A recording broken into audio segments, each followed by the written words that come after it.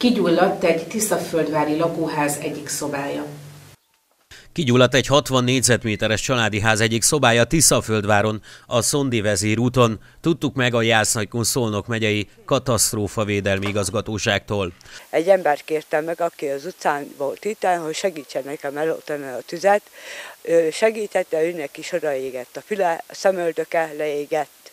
Utána hittünk a tűzoltót, a gyerekeket alig bírtam kimenteni, és mindenünk odaégett. A Tiszaföldvári önkormányzati és a Kunszentmártoni hivatásos tűzoltók két vízsugárral és kézi szerszámokkal előbb körülhatárolták, majd eloltották a lángokat. Az esethez a Tiszaföldvári önkormányzati, valamint a Kunszentmártoni hivatásos tűzoltók vonultak, akik két vízsugárral, illetve kézzelszerszámok segítségével fékezték meg a lángokat.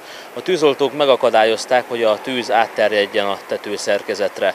A tűzoltók az épületből egy gázpalackot is kihoztak, amelyet nem ért hőhatás. A házban öten éltek, hozzátartozóknál kaptak szállást. Hát ez egy ilyen nagy katasztrófa, ami velünk történt sajnos.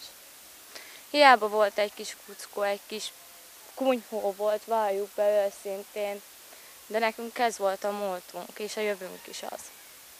És sajnos ez mind kárba veszett.